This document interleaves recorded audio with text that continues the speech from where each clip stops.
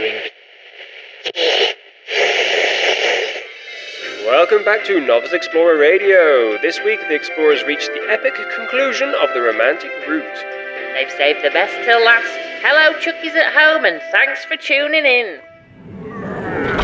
Good morning. This was our digs last night. It wasn't too bad at the night time, but now, as you can see, it's filled up quite a lot. But that's because it's good proximity to the centre. It's just a short walk for us. There's a bit of chill in the air. So let's go.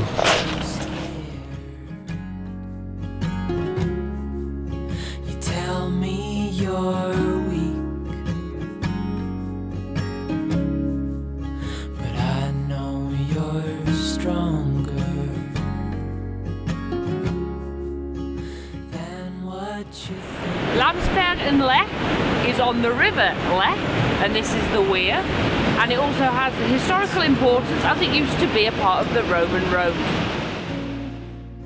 Yeah, I know it's rough.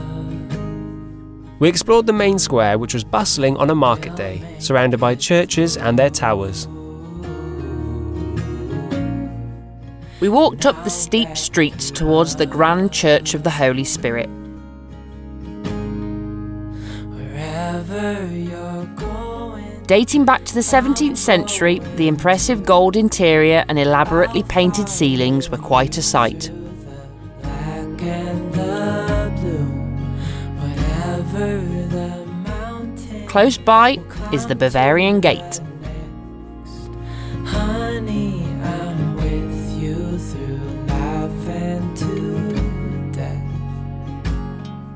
We made our way back down into the quaint streets in search of a spot for our picnic lunch. Close to the river and Mutterturm Tower. You tell me you're nervous. How gracious. It's lunchtime. I'm always gracious it's lunchtime.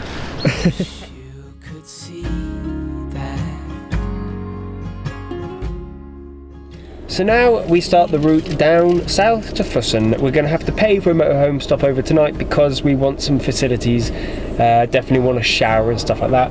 Uh, there's quite a few to choose from, so that's a good thing for us. And you know we haven't paid for parking up in a long time, so it's, it's not too bad. We can brunt the cost for one night, I'm sure. We've got um, castles, lots of castles and lakes, Lakes. to finish off this romantic trip. And I think uh, tomorrow is potentially the last nice day we're going to have for a while, so we've timed this somehow. Bob on. During our drive to Fussen, we travelled through the region known as Pfaffenwinkel, or Priest's Corner. Here, the landscape changed quite dramatically, and we got very excited to see mountains again. We were surrounded by vibrant green pastures and the sound of cowbells. We pulled up next to Lake Forggensee to stretch our legs and take in the landscape.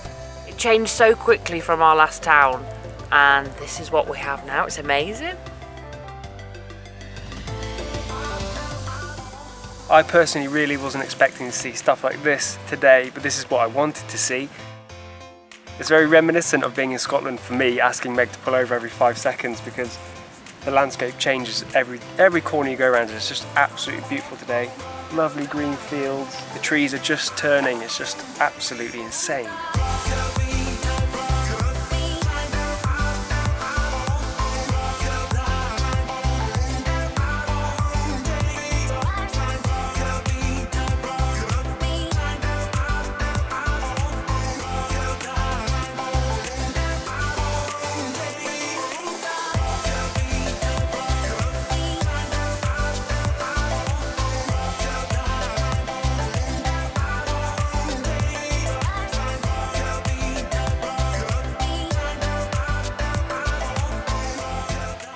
We could have happily stayed here all day, but we had to make the short drive to Fussen to find a place to stay and shower. So we've made it to Fussen. We have booked ourselves into a 15 euro a night motorhome stop, which is paid by an automatic little machine, which has been pretty cool, topped up on water. And we're here mainly for a shower and a relax before tomorrow's adventure around Fussen and the area. The beauty of travelling in our camper van means that this morning we woke up in a very busy central uh, car park, as you would have seen, and now we are at the foot of some absolutely stunning mountains, like you saw earlier. It's quite busy here, but it's just motorhomes, but it's kind of nice once in a while to have all your amenities and just feel relaxed. So this is the general setup we have. Once we uh, get into a spot and feel comfortable, then we swivel the seat, open up the space a bit, and uh, at the moment it's quite nice weather, so we're letting some fresh air flow through the van and take away the smell of camembert. Good morning. It's been a lovely 20 minute walk for us from our camp spot into the old town of Fussen, and we are just exploring on a little ramble, but look at the views. We've been blessed once again. This is outrageous.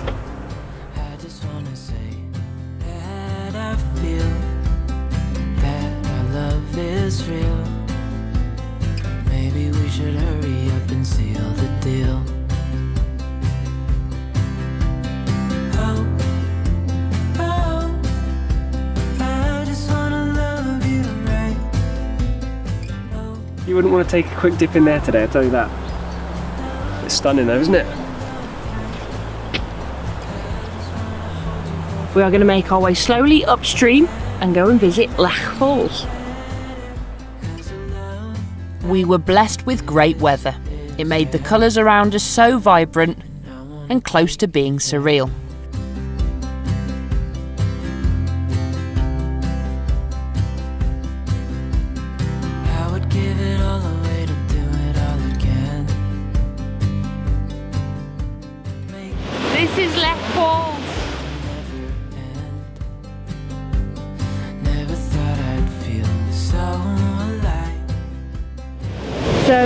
Is a lovely hike up into the hills behind the Falls, but we're going to do something a little bit different. Slightly more taxing and hopefully for a better view. We jumped off the well-trodden tourist trail into the woods, towards Kalvarienberg, a religious site.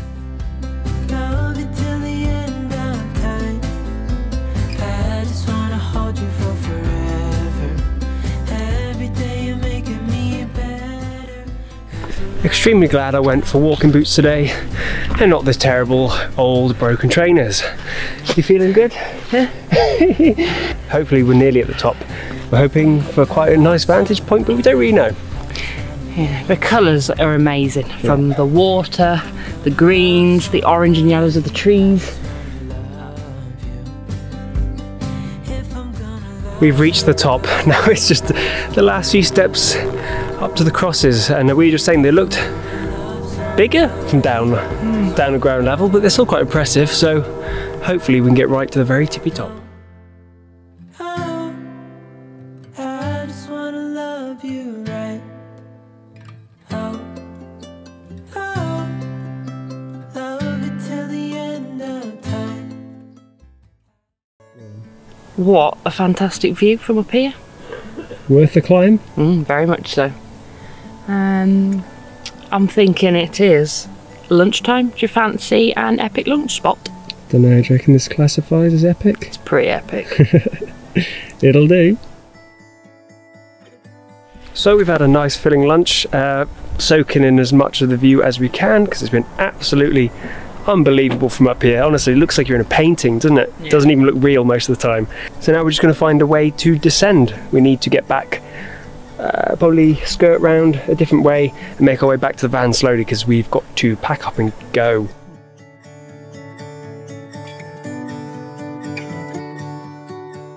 After catching a glimpse of Lake Schwansee, we walk down to take a closer look.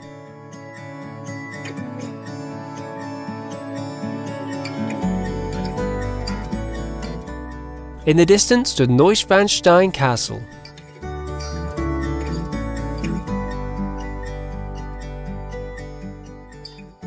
So that was Schwansee Lake, and now we're going to make our way back towards the main town to go back to the van to move it to find somewhere else to stay, which I think might be a bit tricky tonight because it's going to be one of those areas.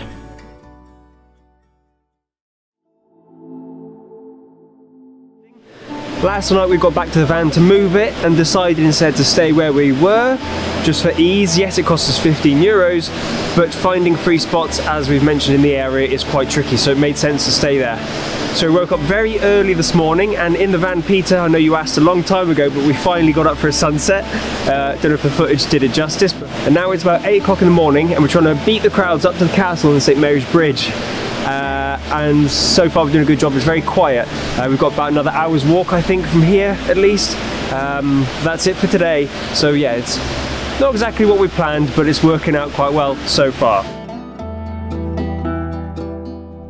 We've put our best foot forward and scooted around the castle on the walk to the falls a bit quicker than we normally would do because we're trying to beat the crowds. We're going to take bets on how many people are there. I'm hoping zero. This is because I've done my research and people say that it is quite unpleasant and there's a queue for the amount of people that can fit on the bridge.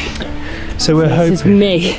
This is me trying to be clever and getting nice footage with no other tourists. So effort is made. And as you can hear, we're expelling a lot of energy doing it. Oh, there's One there's one person so out of 400. Oh, that's technology for you. What tells you how many you're on there? Oh wow, clever.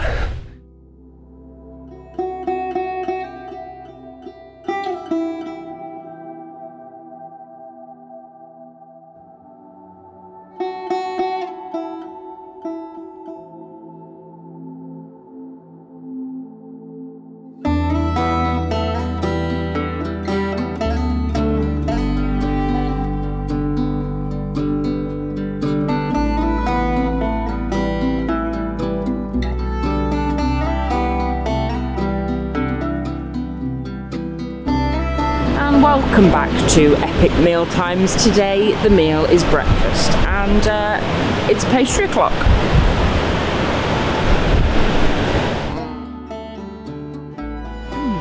So St Mary's Bridge itself is free. It takes a bit of a hike to get up here, so make sure you've got appropriate footwear.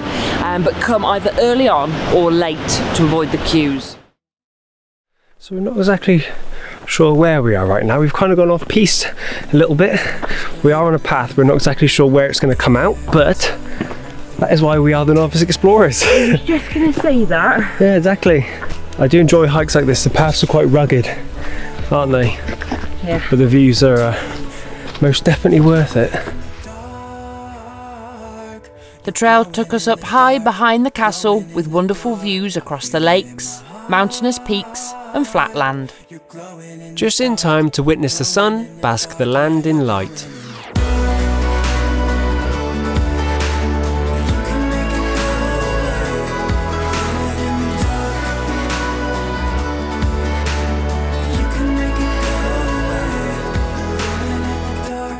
Looking at you, you're like a firefly.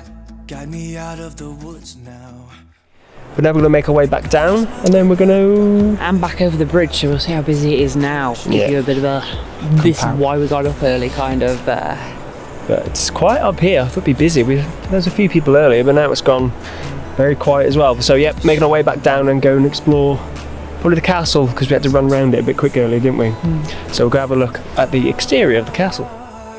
You're glowing in the dark, glowing in the dark. I feel it in my heart. What did we say?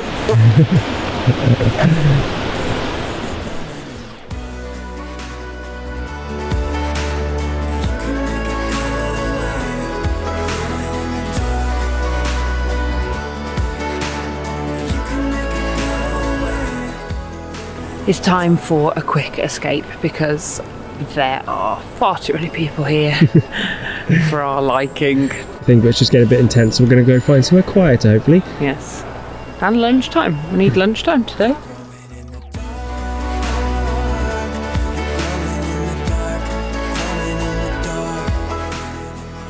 Yes, we won't be doing any of the castle tours because it's not really our thing. But mm. I know that it is 12, 13 euros for a ticket that you can do both castles, um, kind of within the like little package thing. Instead, we decided to go for lunch, our uh, pre-packed lunch made by Meg, and we've got a decent view today. Yes, it's a nice one today, as in lunch. I've got I've pushed the boat out.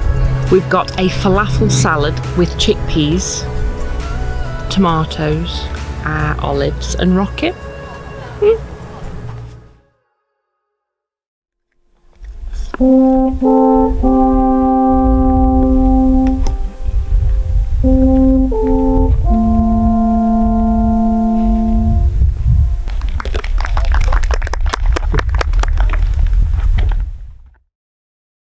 Now we're back to the van.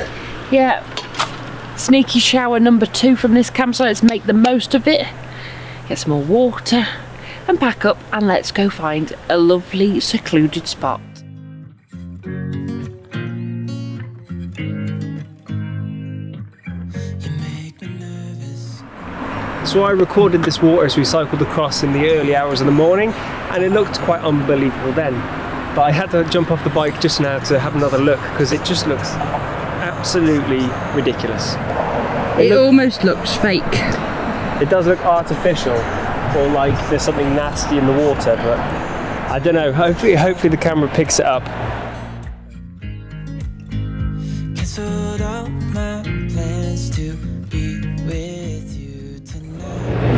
So this is the end of the romantic route for us. We've had a wonderful time and we really think Bavaria's got a lot going for it. Um, we've loved the Alps, and loving to have mountains back under our feet. And what better way to celebrate than with an ice cream?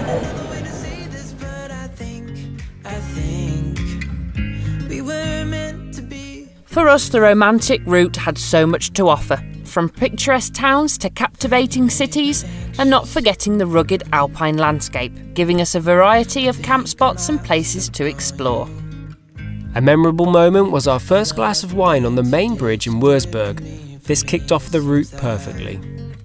We both agree Fussen was the highlight and best kept till last.